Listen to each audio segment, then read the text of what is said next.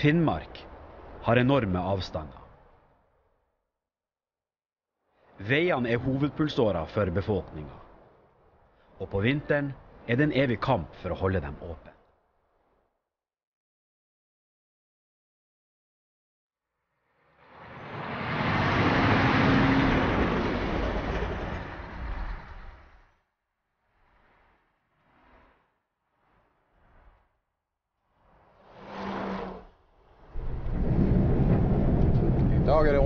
30. januar, Og eh, vi er på tur opp til Nordkapp. Og eh, været i dag er ganske greit. Det er ikke noe særlig med vind og ikke dårlig vær sånn generelt. Så eh, føreforholdene er veldig fine etter veiene.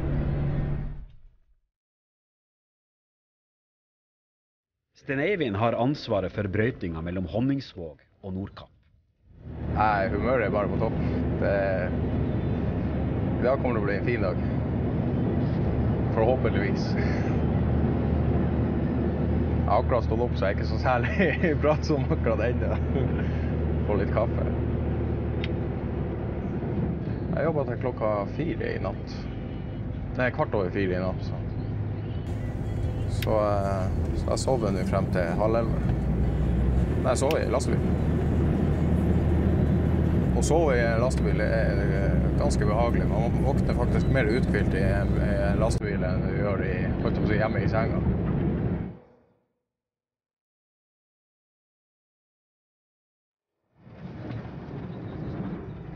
Lastebiler generelt det med brøyting, det er jo det som er livet mitt. Det er jo det jeg har valgt siden, og drømt om siden jeg var guttunge.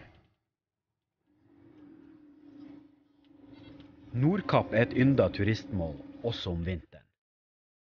Og det går daglige buss- og bilkolonner med turister opp til platået.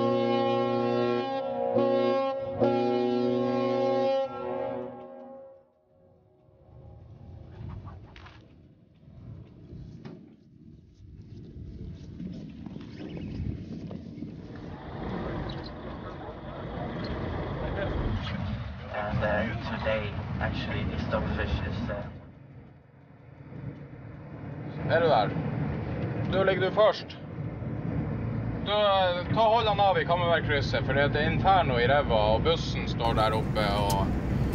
Så jeg starter over fra Skarsvågkrysset nå, så kommer jeg, kommer jeg dit, og så guider jeg dere opp gjennom Skarsvågrevet. Jonas, vi, kjø vi kjører til Skarsvågreva, så står du på toppen, og så blokkerer du for biler som skal ned. For vi må få de bussene igjen av Skarsvågreva. Skarsvågreva, hvor det er hen? Skarsvågreva, det er på toppen i reva. Jaha, skal jeg kjøre dit nå? Ja, kjør bare dit nå, så, så er vi, vi er ferdig dit nå. Ja, hva jeg skal gjøre? Skal jeg bare stå og blokkere biler, så kommer de fra Skarsvåg eller til? Fra Skarsvåg. Han Jonas han jobber jo som følgebilsjåfør hos oss.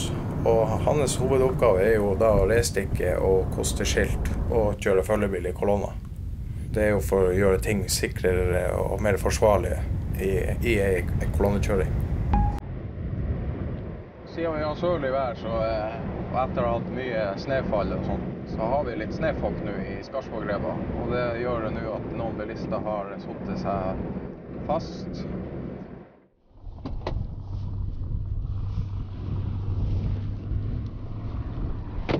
Skarsvågrevet på sørlig vær og ren nordlig vær og snø, så er det jo Det, det er Uff. Det er jo et inferno. Stå bare der og blok til vi får de to siste bussene med oss. du vet at det står to busser sånn der? Han har vært gitt beskjed? Gjorde det, ja? Det er glatt som faen. Så her blir litt venting bare sånn til til vi Ja. Du ser det når vi Ja. Gjør det. Takk skal du ha.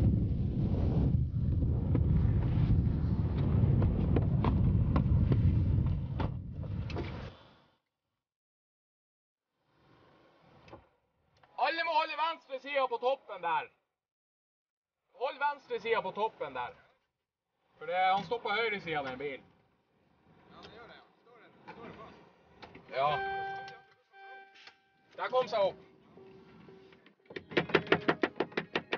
Han er jo ganske ung. Folk blir jo ganske sjokka over at han kjører brøytebil og alt det der. Og at han tok på seg et ansvar og startet bedrift. Han gjorde en bra jobb, det gjør han. Første har han jo klart seg. Nummer to har klart seg, og nummer tre har klart seg. ja.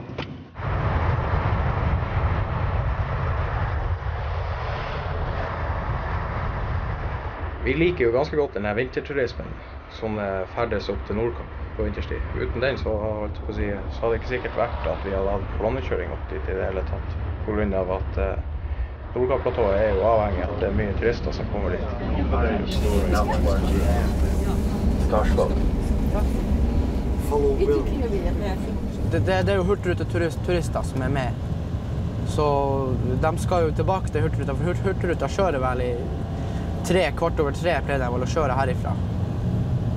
Så vi må jo holde oss, holde oss til den tida.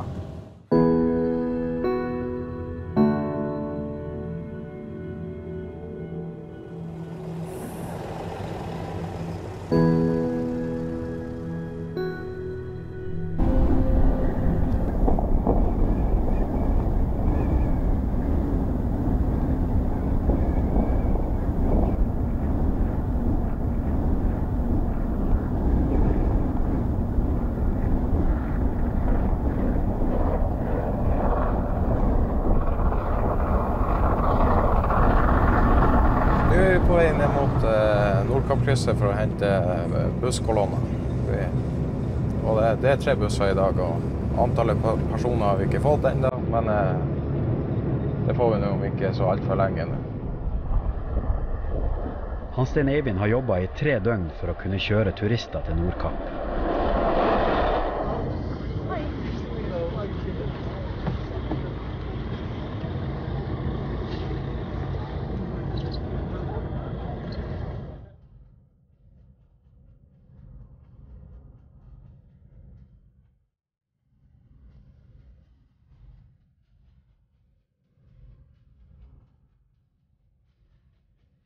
Due to the cold climate, they grow here as well. And uh, then we also have a few different berries here. Eh, Nei, jeg får ikke så mye tid til familien pga. at eh, man brøyter så mye på vinterstid. Så man er bare hjemme, og det er bare hei og hå, så legge seg, og så er det bare ute igjen på jobb. Familien betyr ganske mye for meg pga. at eh, de har støtta meg opp igjennom det jeg driver på med, og de har ikke vært noe særlig negativ heller. Og de har satsa bare på at det går bra, og det kan jeg takke dem ganske godt for. Nå er det ikke lenge til det er helg, som man ser frem til. Eh, Kvinnfolk får jeg ikke så mye tid til. Det blir lite av det her yrket. Hvis de, liker å sove alene om kvelden, så er det veldig, veldig greit i det her yrket. Da, finner de rette personen. Vi er ikke mye hjemme. Vi sover i bilene. Altså, de fleste brøytesjåfører ønsker en kjæreste, men eh, Men eh, da er det jo holdt på å si under forutsetning at de må finne seg tålmodige kvinnfolk, for å si det sånn, på den måten. Ei som tåler at du ikke er så mye hjemme. Det er bare der å vaske klærne dine og lage deg mat. Og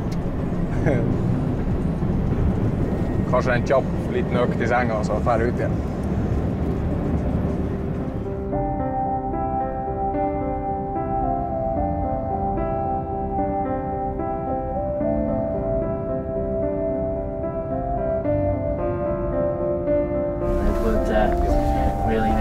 If I see you again in the summer sometime. So have a nice trip and goodbye.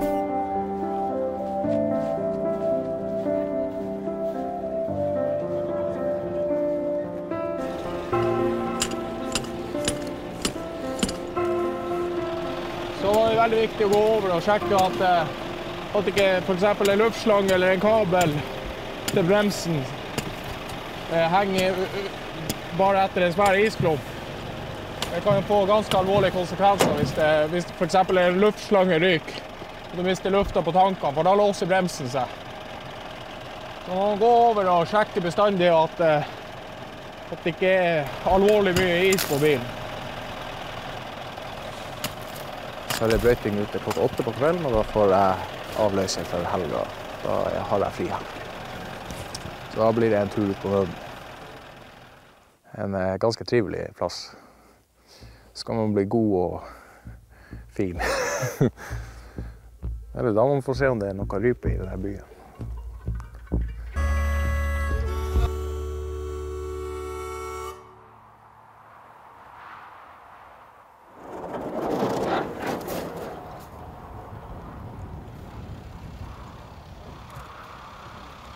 Lavtrykket har lagt seg over Magerøya, med den usikkerheten det fører til for han Jonas og han Sten Eivind.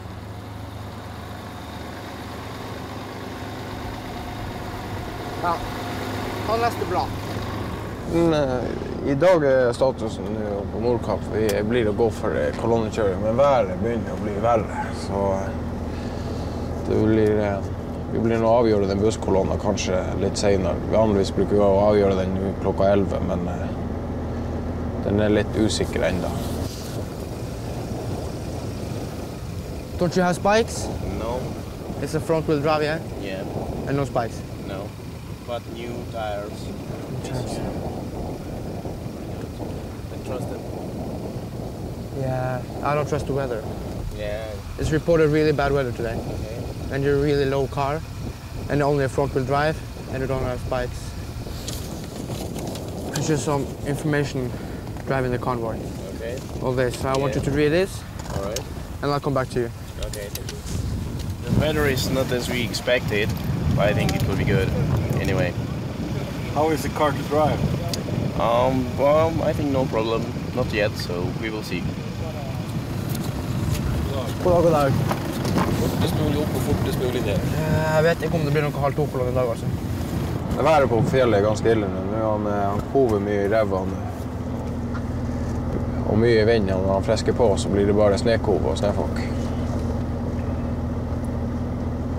Så det blir spennende i dag. Vi trenger kanskje bare et kvarter hvis vi er heldige. Kvarter. Ja, vi kan jo se. Hvis ikke, så blir det kvart over to. Så.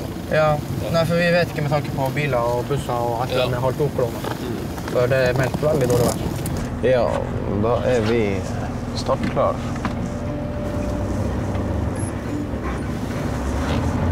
Det er Vi har tre biler som skal være sånn. opp.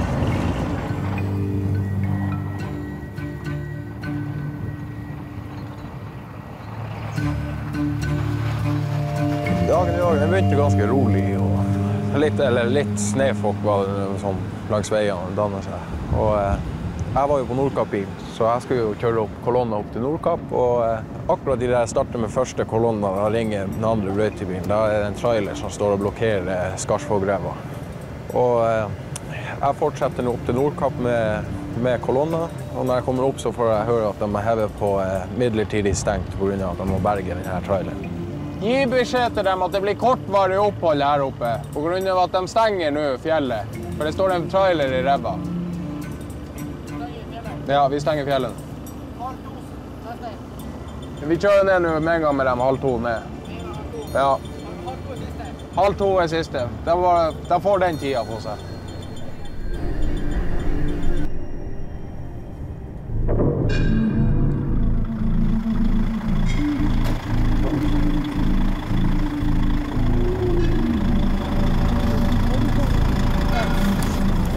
Sommerdekk på. Jeg har eh, kjørt opp uten eh, kjetting. Og så eh, har han begynt å gli bakover. Så vi skal prøve å hjelpe ham å få på kjettingen, men det, står veldig godt her.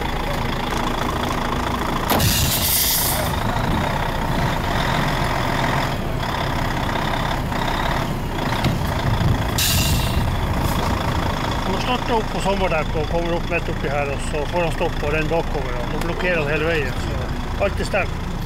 Og brøytebilene står på øverste, så vi får ikke brøyte veien ned til Honnesvoll heller nå. så Det er litt kaos akkurat nå, men eh, vi får en brøytebil fra Honnesvoll som tar veien hit. Men eh, han har nedslitte kjetting også. Vi må vente på en hjullaster hvis vi ikke klarer å dra med lastebilen. Nå er vi på toppen av i Skarsvågrevet. Får vi se hvordan det ser ut ned.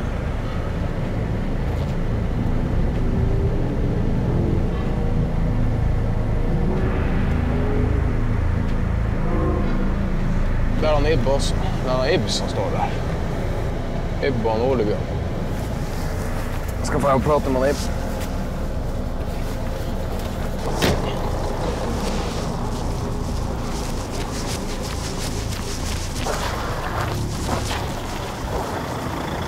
Dere få dere jobb som kjettingmontører.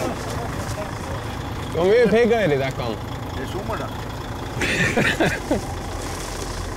Jeg tror du koser deg nå, Ole Bjørn.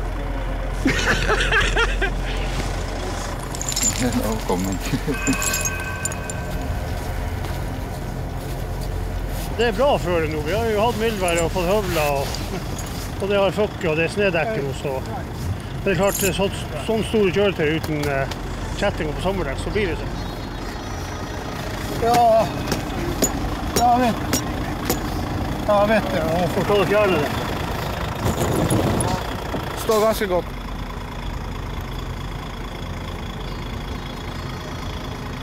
Har han kjørt på sommerdekk? Ja, har han sommerdekk på? Oi sann. Idioti. Han har hatt bra flaks, den traileren. Hadde det ikke vært en den snøkanten vi har på innersida, så han knust skapet på hengeren og for bak. Jonas! Ferdig opp i kassen etter kjettingsleiksen!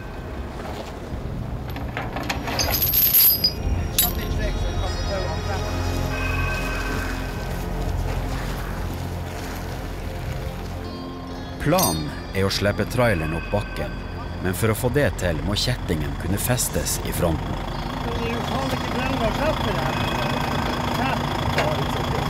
Altså, de har sett satt det som kufanger fremfor, så det er vel festet i i trappeøyet ser det ut som. Så vi kan ikke dra den fremover. Nei, vi må få hjullaster hit og så prøve å dra den bakover. Jeg skal bare rygge mannen litt vekk, så kan oljebjørn trekke.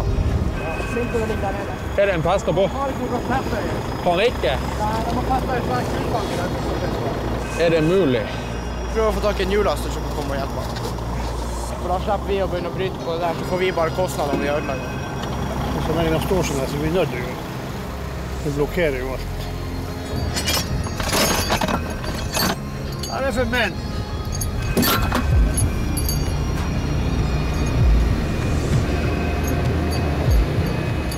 Hadde han eh, stått sånn at han ikke var i veien for at vi kunne brøyta rundt, så hadde vi ikke gjort noe med han. Da hadde vi bare hjulpet han å få, eh, få bergensbil. Men med at han sto sånn som han gjorde, så Og vi hadde kolonne på Nordkapp ifra.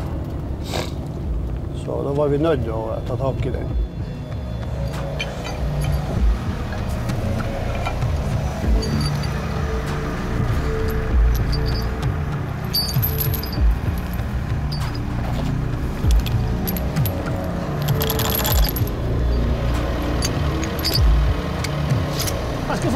Skal få ha noe om å sjekke det her, at det ikke Også at han er klar når vi drar av. Hello. Come back. No, no, forget it. Sitter og leser Donald Duck.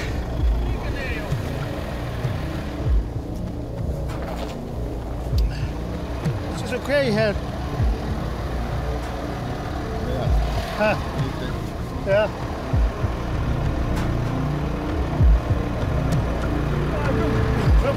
ta forsiktig.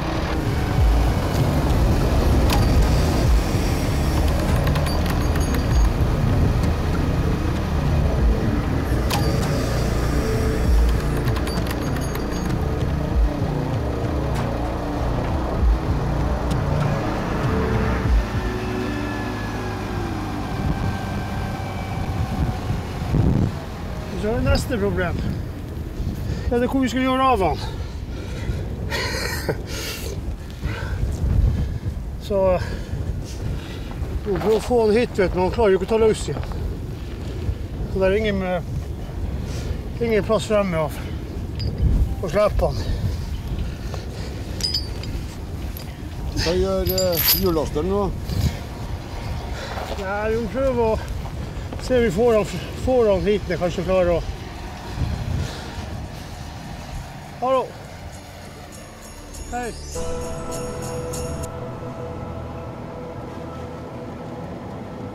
Blir jo imidlertid stengt nå fortsatt, ikke sant? til de har fått trukket den vekk med hjullasteren, den her traileren. Og nå er været begynt å friske på, og sikta er betydelig redusert. Så vi skal nå fortsette å hente ned de her. Den som skal ned med halv to-kolonne. Som for ekstra sikkerhet nå, så kjører vi med to brøytebiler og en følgebil opp, bare for å være sikker på at vi får dem ned. Heldigvis har vi nå fres oppe på den veien, så vi ble jo stående her ganske lenge med det her med den der traileren. Lua hun er stivfrosen, den der lua her på hodet.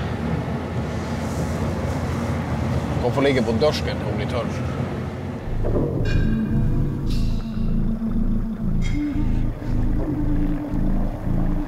Jeg stiller jo spørsmålstegn. Det er jo rart at de får slippe til hva jeg kjører med sånne dekk her. Han er utenlandsk, de får jo aldri konsekvenser.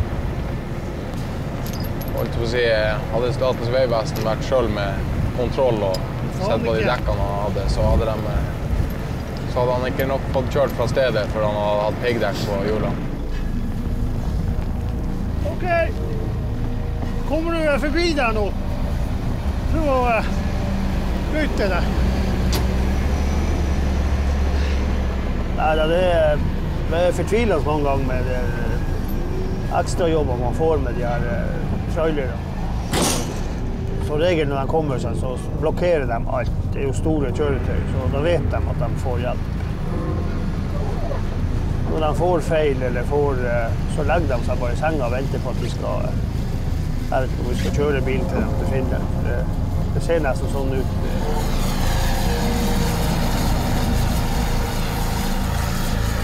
Nei, nå må vi få, eh, vi må få den ut herifra. Vi har rydda vei med hjullastene opp, så det er nå man klarer å ta løs og komme seg opp på toppen. Og så, eh, så må vi få snudd den der oppe. Man må helt til Gjesværkrysset for å snu. For snur den her oppe, så eh, skjer det samme opplegget. Vi har stengt eh, eh, veiene over til Skarsvåg og Gjesvær. Det er midlertidig stengt pga. bilberging. Og det kommer til å bli innført kolonnekjøring på de veiene. Du sier at det nå har det fucka oss ned så mye på de veiene at vi klarer ikke å ta unna, ta unna mer enn det fyker inn på veien. Og eh, når det skjer, så blir Nordkapp automatisk stengt pga. Eh, at det er kolonnekjørt på de andre veiene. Og det, hvis, det, hvis det skulle skjedd ei ulykke oppe på Nordkapp, så, så kan ikke redningsmannskap stå og vente på brøytebilen som står med kolonner fra Skarsvåg og skal til Honningsvåg. Så nå skal vi hente dem ned. Og eh, været han skal ikke bli noe særlig bedre nå de neste timene. Bare få dem fortest mulig ned mens vi ennå har muligheter.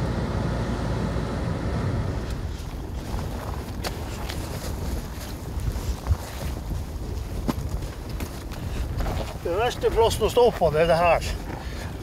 Det er han Kovu rundt i fjellene. Det De er nok bare med å holde øynene oppe. Faren min er dansk, derfor fikk jeg navnet Ilbros. Han har jo han har jobba for det, samme som jeg er inne i nå. For samme underentreprenør. og eh, Han er 72 år nå, og nå er han i Veidekke. Han kjører hjullaster. Gamle vet hva jeg skal gjøre med han der. Nei, de har kufanger fremme, så det er ikke, ikke noe festlig. Har du hele hanska der inni? Vi starter opp her med, så får han stå opp her oppe.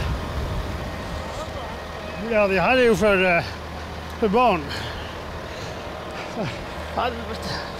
Ja, hvis, du, hvis du kommer ned og så kjører du fremfor ham Jeg prater med brøytebilen her oppe. Nå skal han komme ned igjen. Nå Så skal vi prøve å, eh, prøve å ta han med og opp.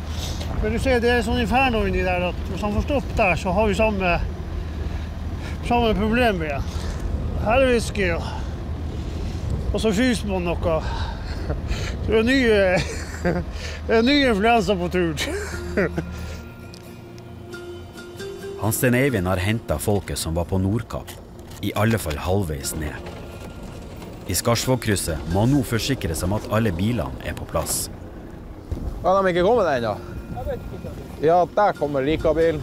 Vær så snill å si den gule bilen kommer etter. Jeg sier det er turistene, det er dem vi plages med. Det er dem som er vant med å kjøre litt dårlig vær, dem. Men eh, jeg må nesten ned til Skarsvåg og hente noen. eh, Han, eh, han eh, Stein Pettersen hadde glemt hjertemedisinen sin, og han er jo i Skarsvåg. Dere venter bare her. Jeg skal bare ned til Skarsvåg og hente flere biler. For vi, ja, Hvis de sikta helt der oppe, så mista vi de andre også. Det var, eh, det var partier hvor du ikke så det var helt, helt hvitt. Så ingenting. Og så manglet det noen brøytestikker, og da ble vi stående litt. Og så måtte vi ut og banke litt av viskere. Men eh, det gikk rett. Å stikke hodet ut av vinduet, så så jeg veien til slutt. Yes, hvor dere blir av nå? Ja, Rika og alle her. Ja. Dere står i krysset her og venter, så får jeg hente dem nede i Skarsvåg. It's nice. well, it's something new for us. We also came the, from the um, country where we have a lot of snow, but nothing like this. This storm is really amazing for us. It's really new, but I don't know if it is the highest level what we can see. It's kind of adrenaline. We are from uh, Czech Republic, and um, now we are for studies in Finland for one year and this is our uh, holidays for seven days so we are traveling all around finland and norway to north cape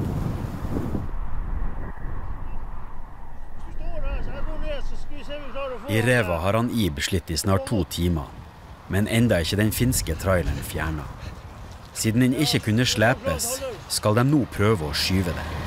Vet ikke, Han har sånn pute bak, så hvor mye har du redd han den? vekk.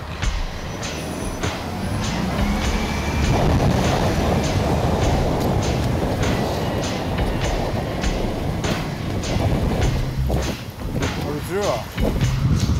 Nei, jeg har dårlig tru, men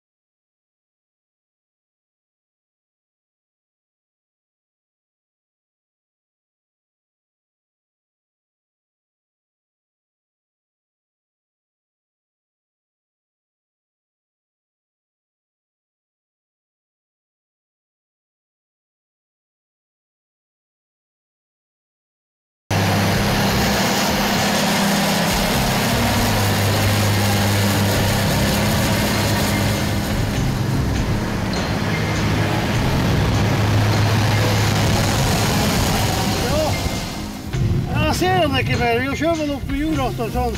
Det er så inferno, jeg ser ikke nok. Mest sannsynlig så for han.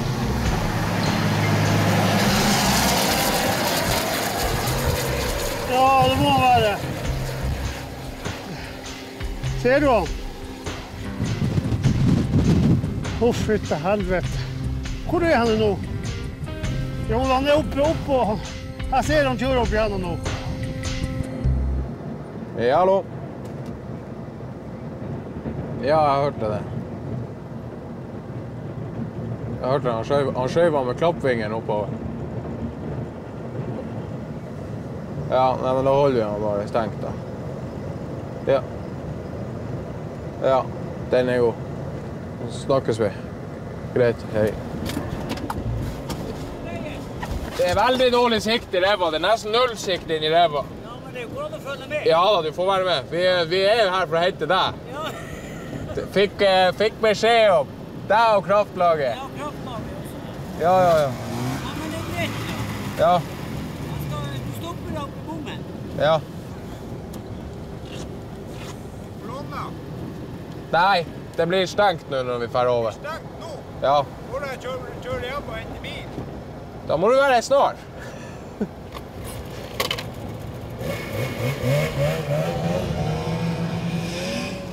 Så har jo glemt eh, hjertemedisin i Honningsvåg. Ja.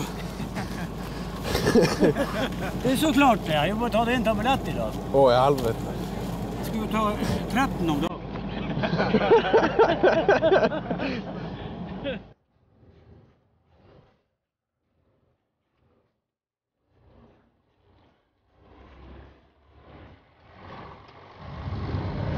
Nå, nå har vi vært nede i Skarsvåg og henta tre biler med koronakjøring. Og så skal vi stoppe i Skarsvågkrysset og ta med resten av bilene derifra. Så vi sammenkjører to kolonner til én. Så vi får alle ned. For uh, været blir tydeligvis bare vær og være, så det blir ikke noe kolonnekjøring eller noe som helst over fjellet midlertidig. Det er bare uansvarlig å dra med seg biler i det været her. Det er Det er ikke noe jeg er interessert i, for det blir bare stopping og starting og stopping og starting med de bilene.